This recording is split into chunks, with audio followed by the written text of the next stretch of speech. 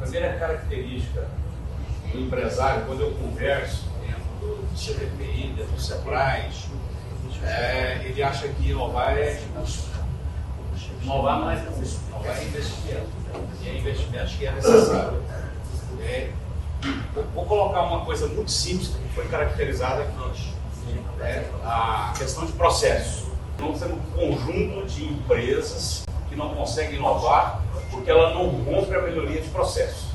Se a gente romper, se a gente ajudar essas empresas pequenas a romper a questão de processo, a gente já está alavancando e ajudando elas a sobreviverem.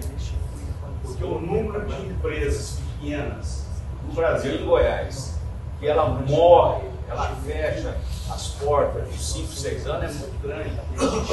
Porque ela não consegue romper na questão muito simples que é processo.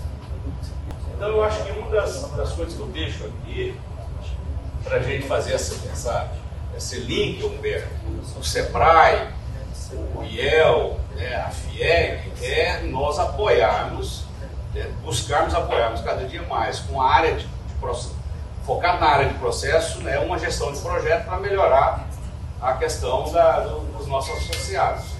Nós vamos ver cada dia mais empresas fechando. Integração. Né? Integração. E nós criamos lá em Goiás, né, nós criamos um, um modelo que nós chamamos de aliança. Lá nós temos quatro pilares fixados no movimento. Quatro pilares fixados. Na parte econômica, é, a participação do, da, da economia digital no PIB goiano.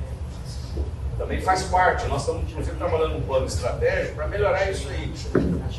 Nós estamos cada dia, inclusive o Sebrae, ele é um grande parceiro nesse contexto nosso, lá dentro do plano estratégico que nós estamos desenvolvendo, para que a gente possa é, fazer um trabalho para salvar as empresas.